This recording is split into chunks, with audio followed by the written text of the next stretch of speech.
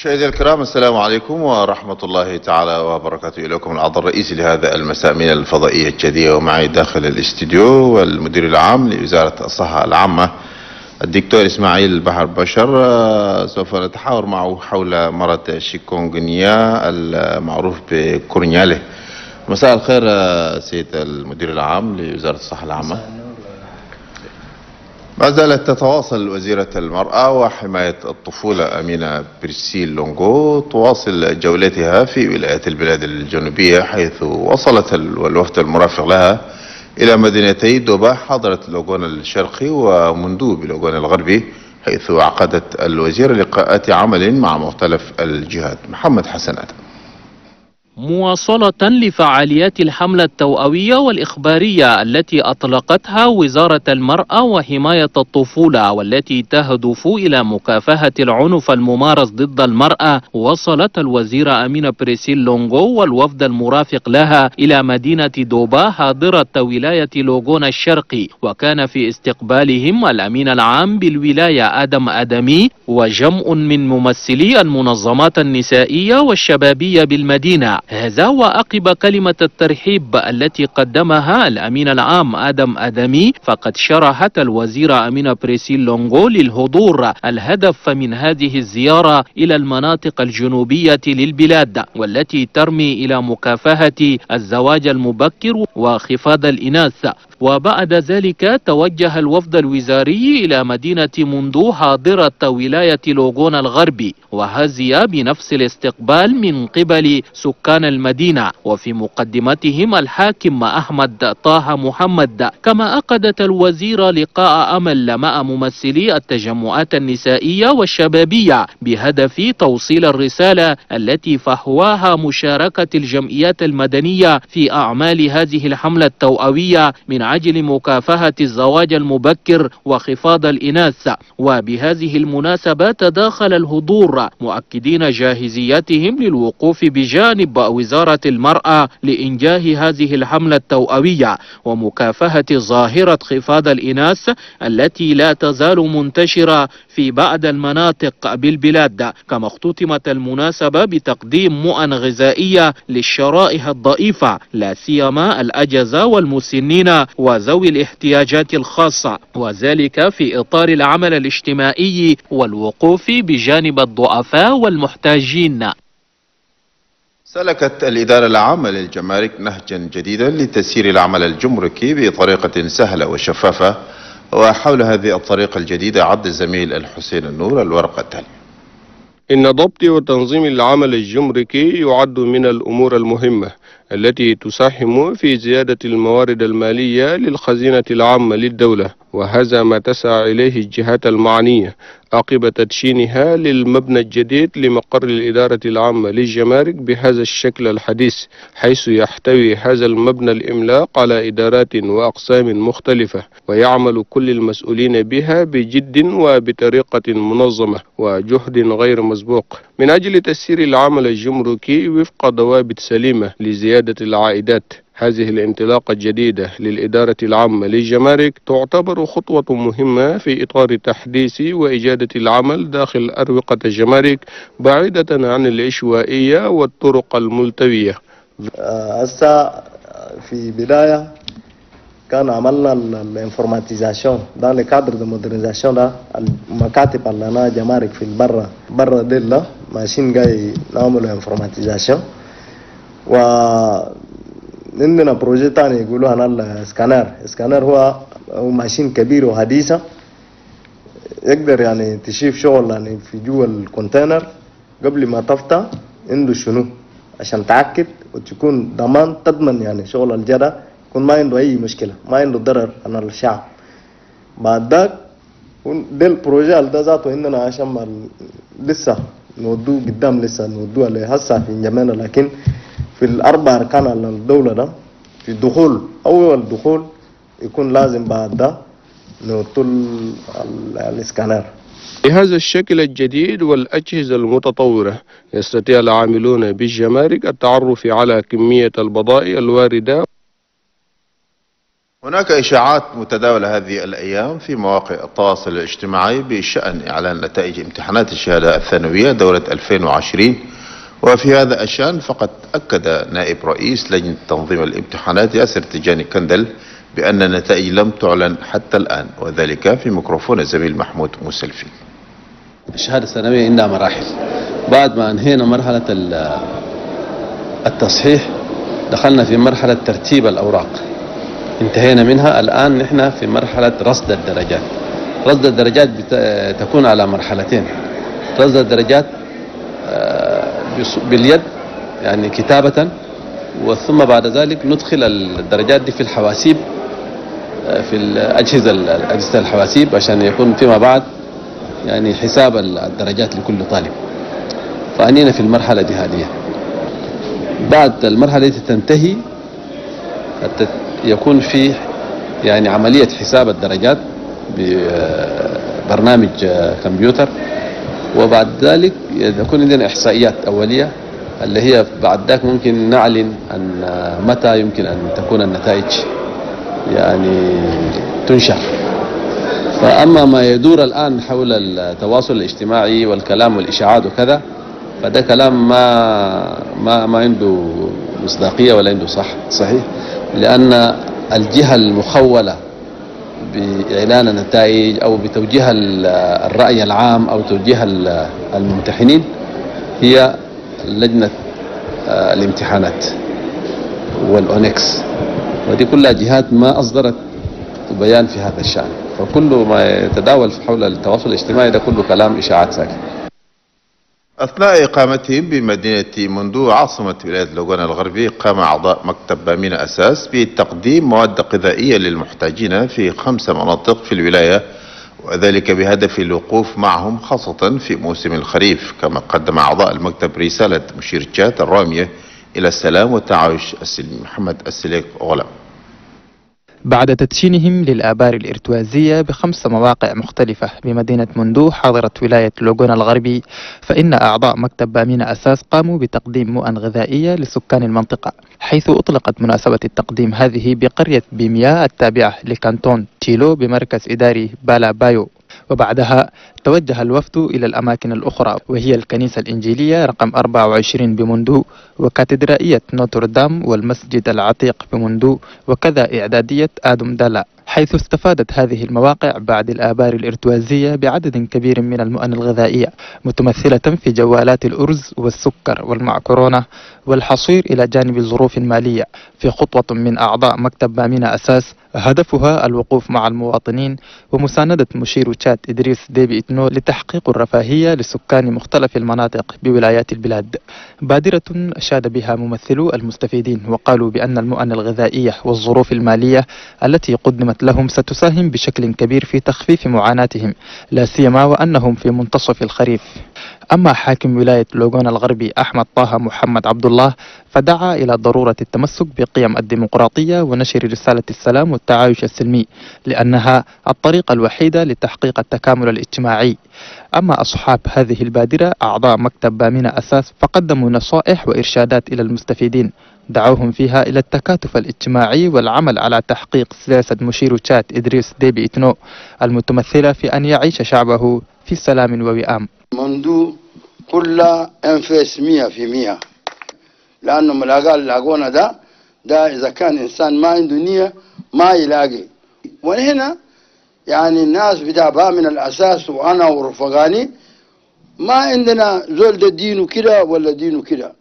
ما عندنا ده قبيلة هنا وكيف ولا قبيلة هنا وكيف عندنا شاهد شاهدين شاهد ده سوا سوا. لأنه واقفين مع المرجال. لهذا الأساس إحنا نجيب عشان دايرين ندعم سياسة حنال ال politique حنال الرئيس ده. عشان ده ما عندنا تمييز. ومارشال كمان ما عنده ده ولادي ولا ده ولاد ده ولاد أدو ولا كده. اختار هنا ده كله الناس اللي قاعدين ديل أولاده ديل اخوانه ديل أبهاته.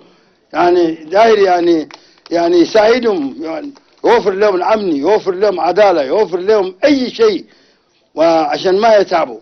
وأضاف رئيس مكتب بامينا أساس إبراهيم خليفة بأن المكتب أسس لدعم سياسة المشير الرئيس المؤسس للحركة الوطنية للإنقاذ إدريس ديبي إتنو مفيدا بأنهم سيعملون على رفع التقارير مباشرة بقية تنفيذها للمواطنين علما بأن مكتب بامينا أساس يسعى إلى تحقيق الرفاهية الاجتماعية للمواطنين.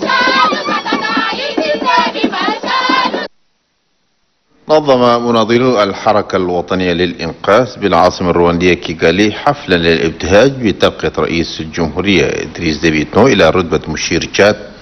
وأكد المناضلون أن هذا الاعتراف الذي أظهره ممثلو الشعب يبرهن الجهود الكبيرة والمقدرة التي بذلها الرئيس إدريس ديبيتنو لبسط السلام والأمن والاستقرار والوفاق الوطني في تشاد.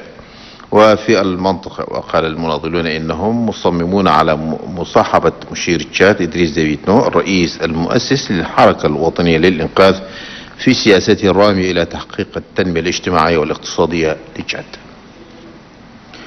انطلقت مساء أمس مبادرة حملة جمع التبرعات من قبل ممثلي جمعيات المجتمع المدني لمساعدة المتضررين من فيضانات الخريف المناسبة كانت بقصر الخامس عشر من يناير. محمود مسلفي تحت شعار فلنساهم ونتبرع لمساعدة المنكوبين أطلقت حملة جمع التبرعات التي بادر بها شباب يمثلون مختلف الجمعيات المدنية بهدف بث روح الأمل وإغاثة المتضررين من الفيضانات. التي غمرت بعض مدن البلاد جراء الأمطار الغزيرة. أي نعمل أن يكون تجمعنا هذا؟ له تغيير كبير في حياة الأسر المتضررة بسبب الفيضانات. لذا فإن المنسقية الأعمى للمبادرة تقدم نداء عاجلا لأصحاب النوايا الحسنة إلى الإسراع في المساهمة ماديا ومعنويا. تأكيدا على على لحمتنا الوطنية وتكاتفنا في أصعب الظروف. مناسبة إطلاق حملة جمع التبرعات تخللتها مسرحية تحكي عن معاناة المتضررين من فيضانات خريف هذا العام. كما تم عرض فيديو يجسد حجم الخسائر والأضرار التي خلفتها السيول ببعض حارات دوائر العاصمة أنجمينا في شهر أغسطس المنصرم. هذا وفي نهاية المناسبة قام الحضور بوضع مساهماتهم في صندوق التبرعات ليكونوا ضمن السباقين الأوائل في فعل العمل الإنساني. فالوقوف مع المتضررين من الفيضانات هو عمل وطني وإنساني بامتياز. فالله في عون العبد ما دام العبد في عون أخيه. قامت الهيئة الوطنية للأمن الغذائي بالتعاون مع بعض الشركاء قاموا بتوزيع مواد غذائية للأطفال الذين يعانون من سوء التغذية بمستشفى مريم العذراء. بجانب توزيع مواد لسكان قرية مسيلة بكوما وفرشة بالدائرة الأولى أميرة سالم.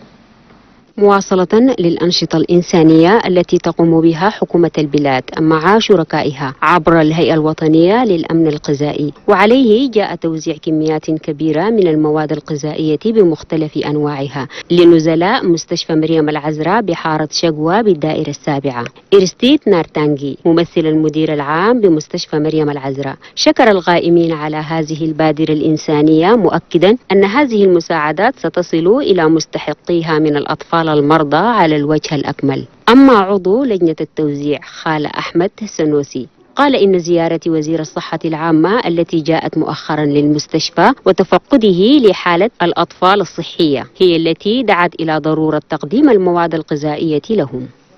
وزير الصحة والتضامن الوطني جاء هنا وشاف وقال الناس دول خليه نساعدهم. وده السبب اللي خلانا جينا هنا اليوم كلفونا بكون نجو ندوا يعني آآ آآ مية جركان هنا دين مية شوال هنا سكر صغار مية شوال هنا ليبيا مية شوال هنا قلة وفي سياق متصل استفاد أهالي قرية ماسيلا أبو كوما التابعة للدائرة الأولى من حملة توزيع المواد الغذائية. نشكر الرئيس نشكر أخواننا المقدمين لنا جاب لنا مساعدة. إدريس دافيتنو الله يوزع الله يقدم علينا قدام ونشكر الميري. عمدة بلدية الدائرة الأولى جبرين محمد عبد الكريم.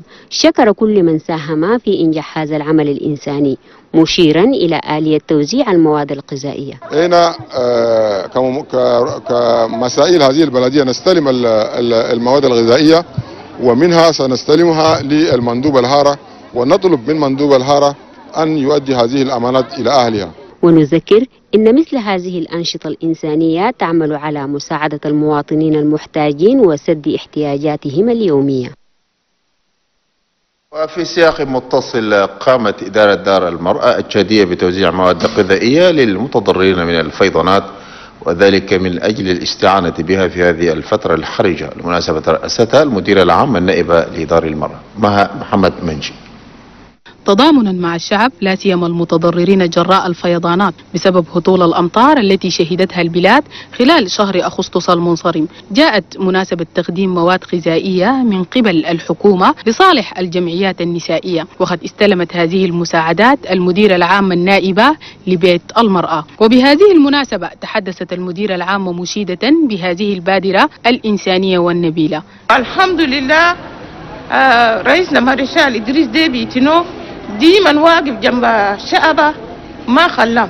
إيه طريقة هنا ministère لقينا المائدات ده اليوم نوزعوهم ل... ل... للجمعيات. فيما عبرنا المستفيدات عن ارتياحهن على هذا العطاء وتضرعنا على المولى عز وجل أن يعم السلام والوئام بالبلاد. نشكر الحكومة بمساعدتها للنساء رئيسات الجمعيات. أنا شكرت كتير للحكومة. ما خلانا. للجمعية كده كربون بإيدين مزين. الله يهدرنا. أي تقول يقول بوادانيتا نار ما يحصل لأخوه إن مثل هذه المساعدات التي تقدمها الحكومة تساهم في تخفيف معاناة المنكوبين. أعلن الرئيس الوطني للحزب الديمقراطي والاشتراكي من أجل التناوب مالوم جراكي أعلن الدخول السياسي وبداية أنشطة الحزب. المناسبة جرت بمقر الحزب الكائن بالدائرة الثامنة. خالد موسى الحاج. تحت شعار الحزب الديمقراطي والاشتراكي من أجل التناوب أمام التحديات الانتخابية. أعلن الحزب دخوله السياسي وبداية نشاطاته والذي يأتي تزامنا مع تقديم الأعضاء الجدد للمكتب التنفيذي للحزب. المناسبة جرت بمقر الحزب بالدائرة الثامنة وسط حضور مناضلي ومناضلات الحزب.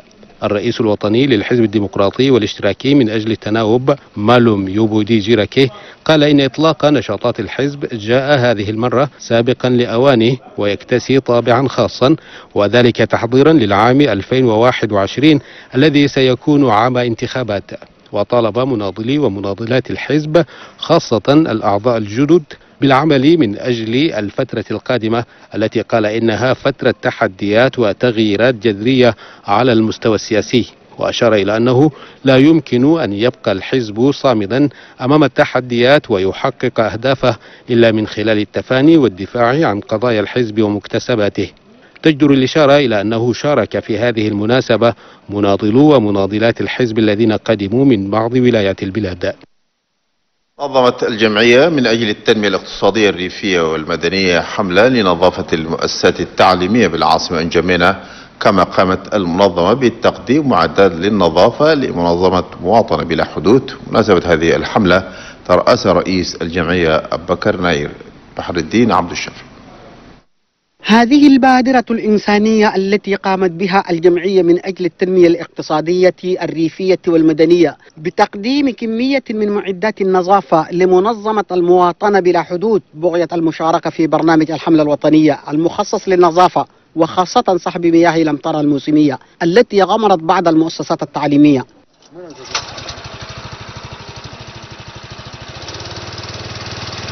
بهذه المناسبة تحدث رئيس الجمعية الاقتصادية عن أهداف البرنامج الذي شارك فيه مناديب الجمعيات المدنية. جينا عشان آه، الألمي نمرقو بالموتور بوم وعندنا اكيبيمان دول كلها. إن شاء الله وبعد ما الألمي مرقناه في إكوالات واحدين عندنا فوقهم آه، قش قاعدين. القش ده كله بالراتو بالبنغور كله إن شاء الله نهارتو إن هذا البرنامج الذي يقدمه شباب جمعيات المجتمع المدني لصالح المواطنين لتنظيف ساحات المؤسسات التعليمية يشمل الدوائر العشرة بالعاصمة ويستمر حتى نهاية شهر سبتمبر الجاري. شهد سوق الخمسينية المعروف بسوق الدنبي ختام أعمال الحملة التوعوية التي قام بها أعضاء جمعية مستهلكي الخدمات العامة للمياه والطاقة حول الطرق الجيدة لاستخدام التيار الكهربائي. محمد صالح الحسين. تحالف المدافعين عن حقوق الإنسان والبيئة في تشاد يطلق أعمال الورشة الوطنية للشباب حول قيادة السلم والتنمية والأمن لنشر ثقافة السلام والعيش المشترك بين طبقات المجتمع. وتسهم هذه الورشة في تفعيل دور الشباب في توعية المجتمع والحفاظ على أمن واستقرار البلاد. رئيس تحالف المدافعين عن حقوق الإنسان والبيئة في تشاد أشار إلى أهمية دور الشباب. الفورماسيون العلوم دار نسودا فورماسيون يخصها العافيه كي كيف انت الشباب للعافيه أنا بلد ده كي كيف انت تلعب دورك حالف أنا جمعيه حقوق الانسان والبيئه في التشاد دائما وابدا قاعدين ونخدموا كل الا مشكله عن العافيه في الدار ده فإن السلام والتنمية والأمن من أولويات السلطات العليا بالبلاد لذا ينبغي على جميع المواطنين الحفاظ على الأمن والتعايش السلمي فيما بينهم. مشاهدي الكرام كما ذكرت لكم في بداية هذه النشر معي داخل الاستديو المدير العام لوزارة الصحة العامة الدكتور إسماعيل بحر بشر. مساء الخير آه، دكتور. مساء آه الحديث آه يدور حول مرض شيكونغونيا المعروف بكورنيالي. الذي ظهر مؤخرا في مدينة أبشي هذا المرض جاء قبل شهرين وقبال يعني بعد 40 سنة أيضا عاد. فما هو السبب من هذه العودة؟ آه شكرا. آه سيعيش في كمال شهر شهر سبعة وبداية شهر ثمانية آه في المندوبية الإقليمية سجلت حالات. المرض يعني غير معروف. والمرض ده عنده يعني علامات قريب للبالي. يعني عنده عنده حمى شديد عنده صداع وجع راس وعنده ورم مفاصل. ده كان يعني شديد مرة. واحدة وخلاص هم سووا test وبعد من المرضانين لقوا ال palu عندهم. وأنتو كمان دواء هنا palu وأنتو دواء هنا آه، وجد هنا الباراسيتامول وال diclo ديل أنتو وناس ديل لكن الحالات كثيرين في سجلت في آه، مراكز الصحية التنين مركز صحي سلامات وأجاتينيا. وقالوا يعني ناس دي كثيرين لكن المرض ده كان ناس في في وداي في أبشة ناس بيقولوا اسمه كورنيالي وبقول قبل سنين مرض الزهر في في المدينة. وكرب ناس كثير وقلنا هل لي شو لنا آه، كشف. وشلنا منهم 13 كشف. جبناه هنا في جمينا وال laboratoire mobile حقنا. أكد المرض ده مرض ال chikungunya ومنهم ثلاث أر- خمسة شلنا ورسلناه في عندك آه، في في ياوندي في معهد الباستير. عشان يأكد لنا هل النتيجة اللي لقينا ده صحيح ولا ما هو. ودنا هنا كمان الخمسة ده كله بيجي سوا سوا. نفس الشيء. وفي قبل من ما أكد لنا ال- ال laboratoire mobile حقنا هنا المرض ده خلاص رسلنا بيساتين متكون بناس المتخصصين في الأمراض مثل الانفكشولوج والمتخصصين في ال- الصحة العامة ومتخصصين في الأوبية متخصصين في في اللابو كل بيرجستر رسلناهم وهم سوا الأمل في مرة واحد ولقوا شنو ال- الشيكونغونيا ده جاي من وين؟ اللي جو باودا يعني حنا ال- يعني بنت الشيكونغونيا باودا دي باودا يعني كبير من الآخرين وعندها يعني أب- ابيض أبيض كي؟ ما البعوضة العادي. ما بعوض العادي ده. ولكن قاعد في بلدنا الحس المرض ده جاي من وين؟ مرق من وين؟ ده هسه قاعد نفتشوه لأن المرض ده يعني ظهر سنة خمسينات في تنزانيا في البلدان الأخرى وقريب كمان في زاير اللي وفي في في في السودان برضو.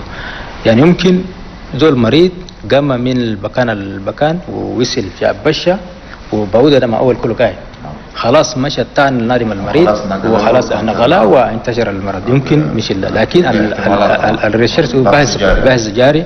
يمكن نلقوا أكيد دكتور يعني الآن آه، قبل ما نصل إلى هذا السؤال هل ال- ال- المرض محصور في المدينة دبشة ولا مرق برا؟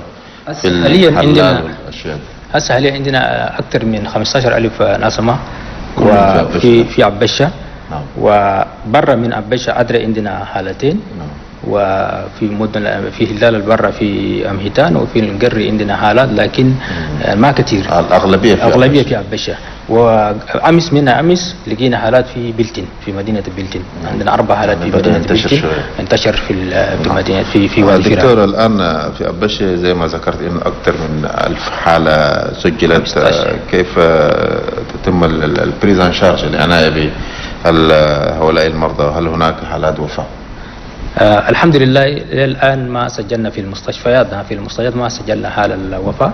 لكن في ال- في الهلا يعني في المجتمع ناس بيقولوا فلان لا مات عند عند شيكونجونيا أو عند كورنيا لكن في المستشفى كي زول الحضر في المستشفى جاء في المستشفى كي مات ما في غير غير رسمي يعني ما مسجل. غير رسمي. شارج والعلاج عن المرضى يعني هو مرضى يعني زي ما قلت عند بسي هم بسي وجه قدام شديد. وعند يعني من ما أكدنا المرض رسلنا أدوية رسلنا يعني معدات عن الت... عن ال... عن الإيجن. وخلاص يعني هناك دكاتير سوى يعني لزام ويعني الناس كله شاركوا. وما شاء الله هسه جاي يعالجهم بال... ودنا لهم أدوية. هسه جاي يعالجهم في المستشفيات. عند لا؟ لا ال- ما أدوية حنفالي ده يعني أدوية عن ال... عن, ال... عن الألم. الألم عن كل. المفاصل وذا بس. وده يعني ودينا مجان في كل المراكز الصحية في مدينة عباشة في مستشفى الكبير. أي زول جاب عنده شيء عنده مرضى الكورنيا أو سيكونغونيا يعني علاج مجانا. الدكتور يعني ما الإجراءات اللي اتخذتموها الآن يعني حتى المرض ده ما يمشي ينتشر بصورة أكبر في ال- الولايات. هل عملتم خطة واستراتيجية؟ هو آه المرض الكورنيالي أو الشيكونغونيا ده يعني هو يعني هو فيروس. هو فيروس يعني بعودة يعني ينقل المرضان للمرضان آخر. ومن الاستراتيجية عن ضد المرض ده يعني عند قبل كل شيء يعني يعني كل الإجراءات عن البريفنسيون أو عن الوقاية والعلاج بالأدوية. الحس حاليا في الأبشة يعني ودينا لهم معدات عن عن التنظيم البيئة. ما شاء الله. يعني هناك كل الناس المسائل ال gouverneur لحد ال maire والناس ال- السلطات التقليدية والدينية كل شاركوا كل قاموا بشيء. يعني, يعني النظافة. أي نعم كله يخدم البعوض. أي. وهسه يعني في مدينة عبيشة ده يعني أني تقول لنا de désinsectisation désinsectisation donc يمشوا في. البيت للبيت يعملوا يرشوا بالدواء عن عن البعوضة عشان يقتلوا البعوضة. تعرف آه، مدينة عباشة كل البيوت ده عندهم fleurs عندهم كل شيء. ووقت ده وقت خريف ده يعني علمي ووقت ال humidité مع السخانة ده. ويعني ده بس هو مع البعوضة بدورة وده كمان خاص يعني فيه مدينة عباشة قاعد يسوي شغل بينادوا في éducation يعني يمرقوا في كل يعني آه، بالنظافة عامة قاعد يسووا وكل ال- البيس والعربات اللي يمرقوا من عباشة برا ده كله كي يمشي يرشوهم عشان ما ما المرض ما يمشي قدام. وقلنا أي زول يربط في سنجة. المهم في سنجة. هو ما هو هو دي بطن بهراي ما في الليل. بهراي أكتر ده وقت هراي يقعد أو هراي وقت يمر وقت ده بس على يمشي يتن يعني ده وقت ده مختلف. أي مختلف من البعوض العادي. donc أي زول يعني يمكن يعني يلبس حلق يمكن يدينا طوال أو يعني يشد كل شيء ويربط في ال- طب والبيت ده كله النظافة مهم. النظافة في البيت ده مهم. والمي يربط في بيت كله ما تخليه يرقد والمي في الديواني كله يعني المي ده كان رقد يوم ثلاث يوم. تخيره. وده اللي يعني من ال يعني استراتيجية عن ال- كيف نحاول المرض ده ما ينتشر في المدن البعوض. قلت بيختلف يعني عنده مفاصل أبيض مفاصل أبيض يعني ما زي البعوض العادي ده. وكمان يطعن بهراي بحرية بهراي وقت هراي يقعد نعم. أو هراي يعني النظام بيختلف تماما. من البعوض العادي آه شكرا آه، سعادة. ولكن آه، الأيام الجاية ب- بإذن الله يعني نسوي آه، إن شاء الله يعني في ال- الليد انتي بكتيريال ده يعني حاليا خطينا أنا خطة خطة طوارئ نضال مرض الشيكونجونيا وده عنده كمان آه، عنده مراحل. نشاطات مراحل ونشاطات نعم. منهم يعني نظافة عامة عن المدينة أنا عبشة وآخر مدينة المدن الأخرى كلها. شكرا الدكتور إسماعيل بحر بشر المدير العام لوزارة الصحة العامة على هذه الإيضاحات وهذه الإرشادات بالنسبة لكافة المواطنين خاصة المواطنين في مدينة أبش إن عملية تربية المواشي داخل العاصمة أنجمينا أمر خطير للغاية مما يتسبب في حدوث الحوادث المرورية إلى جانب تلوث البيئة. وفي هذا الإطار تجول اليوم فريق من التلفزيون في بعض شوارع العاصمة من أجل الوقوف على هذه المخالفات وكان برفقتهم الزميل آدم حنفي فاضل الذي وافانا بالتقرير. التالي العاصمة جمينة شهدت تطورا واضحا في السنوات الأخيرة ولكن بعض سكانها لا يدركون مدى أهمية هذا التطور حيث يمارس بعضهم تربية المواشي في المدينة. نرى قطعا المواشي تجوب في شوارع العاصمة جمينة الأمر الذي دفع إلى تسليط الضوء على هذه المخالفات بما أن هناك قرارا أصدرته بلدية جمينة في الثالث من شهر ديسمبر لعام 2019 يمنع تربية المواشي داخل العاصمة جمينة إلا أنه لم يطبق من قبل شرطة البلدية فإن مثل هذه الحالة كانت تسبب خطورة كبيرة في حركة المرور حيث أن المواطنين في الشوارع العامة أبدوا عن تأسفهم على مثل هذه الحالات المخالفة من قبل مربي المواشي في العاصمة جمينة وحملوا البلدية مسؤولية هذه الظاهرة.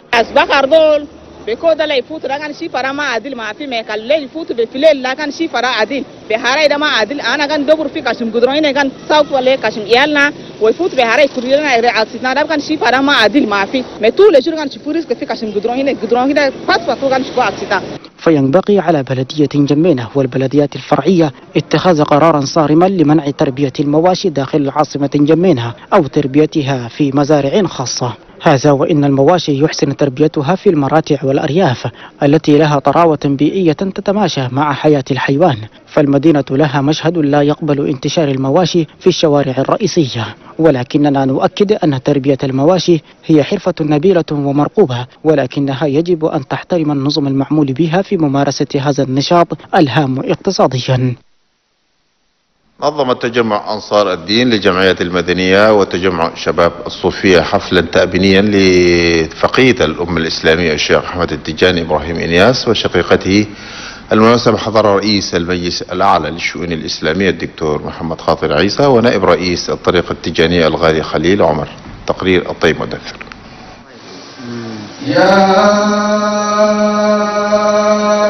أيها الذين آمنوا استعينوا بالصبر والصلاة بهذه التلاوة العطرة بدأ مريدو الطريقة التجانية حفلة تأبين الخليفة الرابع للطريقة التجانية الشيخ أحمد التجاني إبراهيم إنياس وشقيقيه الشيخ محمد المختار إبراهيم إنياس والسيدة فاطمة الزهراء إبراهيم إنياس. وسط حضور عدد كبير من المشايخ ومريدي الطريقة التجانية. رئيس المجلس الأعلى للشؤون الإسلامية قدم تعزيه الحارة للأمة الإسلامية بفقد فقيد الأمة الشيخ أحمد التجاني إبراهيم إنياس. علينا إذا كان رأينا سيرة هؤلاء وسمعنا بسيرة هؤلاء قرأت علينا سيرة هؤلاء قرأ علينا مدح هؤلاء ينبغي أن نقتدي بهم في السير. لا بد من أن نسلك سبيل هؤلاء حتى نكون يعني تبعا لهم. الشيخ الذين يعلمون أن موت العلماء هو سلمة في الدين. تركوا لنا مجال واسع. فنسأل الله سبحانه وتعالى أن يأتي لنا بالخلف المناسب في هذا المقام. هذا وولد الشيخ أحمد التجاني إبراهيم إنياس بضواحي كولق بدولة السنغال في عام 1936 وتلقى تعليمه في جمهورية موريتانيا ومن ثم المملكة العربية السعودية وينتشر تلاميذه في عدد من دول المنطقة. رياضيا تم اليوم اختيار السيد محمد طاهر أوروزي وبالإجماع رئيسا لنادي أليكس سبور خلفا للراحل فتحي دوغا. وذلك من خلال الجمعية العمومية التي انعقدت اليوم بمركز المنى الثقافي. تقرير عباس بكر مصطفى وقراءة آدم حسن- البكر. دقيقة صمت. ترحما على روح الفقيد والرئيس السابق لنادي إليكسبور محمد فتحي دوغا. كانت هي بداية الجمعية العمومية العادية لانتخاب رئيس جديد لإدارة النادي. وقد افتتح رئيس اللجنة المنظمة للجمعية الجنرال أحمد شرف الدين الجلسة بخطاب عدد فيه المشاركات والمنافسات المحلية والإقليمية والقارية للنادي خلال أربع سنوات مضت. تحصل فيها الفريق على العديد من الإنجازات أبرزها حجز المرتبة الثلاثين في سبورة ترتيب دوري أبطال إفريقيا على مستوى القارة الإفريقية. في سابقة هي الأولى من نوعها في تاريخ كرة القدم التشادية على المستوى القاري. عدة أسماء تم طرحها لتولي إدارة النادي في الجمعية العمومية دار النقاش عليها طويلا ليتمخض عنها اختيار أعضاء المكتب التنفيذي للنادي برئاسة محمد طاهر أوروزي ويتكون المكتب من تسعة أعضاء وخمسة مستشارين. وقد تعهد الرئيس الجديد للنادي خلال هذه المناسبة بالعمل الجاد والدؤوب من أجل حصد المزيد من الإنجازات الكروية. علينا كله كما قدرنا كتير كنا نقدر نودي كان لكيب لو وصل نقدر نوصل قدام بشنو بصيغه أنا ناس أنتم سوبرترات بصيغه الناس المؤمنين بصيغه أنا أنا شركة أنا أنا كهرباء الكتريستي وأخيرا نقول لكم شنو علينا نقدر نقول لكم بلان. كل سنة فوق السياده كل شيء عشان معروف كيف ده علينا دقيقه كم؟ وسوى شنو بلان نسوي لكم عشان بعد عشان تيفولي علينا ما عشان كده نقول علينا عشان فجر نقول علينا بريزان اكلف ولا كيف. هذا ومن المقرر أن تستمر ولاية هذا المكتب لأربع سنوات قادمة قابلة للتجديد. إليكم بيان الحالة الوبائية لمرض فيروس كورونا كوفيد 19 لهذا اليوم الأحد 6 سبتمبر 2020 وهي كالتالي 374 عينة تم فحصها خمس إصابات جديدة سجلت حالتان في أنجمينا وحالة تم تشخيصها بعد الوفاة وحالتان في شرق الأوسط مخالطين لحالات سابقة وحالة تم تشخيصها بعد الوفاة في مايوكا بالشرق أربع حالات شفاء ويرتفع العدد الكلي إلى 918 حالتان وفاة ويرتفع عدد الوفيات إلى 79 42 حالة مرضية تحت العلاج عدد الإصابات المؤكدة منذ تاريخ التاسع عشر من مارس 2020 هي 1039 من بينها 263 امرأة في 15 إقليما. تدعو المنسقية الوطنية للاستجابة الصحية المواطنين للهدوء والتضامن واليقظة واحترام القرارات والإرشادات وبالأخص التباعد المكاني وفي حال ملاحظة أعراض مثل الحمى الكحة العطس وصعوبة في التنفس اتصلوا مجانا على الرقم 1313 توقيع البروفيسور شو أشمي المنسق الوطني للاستجابة الصحية هكذا مشاهدي الكرام انتهت الأخبار ونشكركم على المتابعة إلى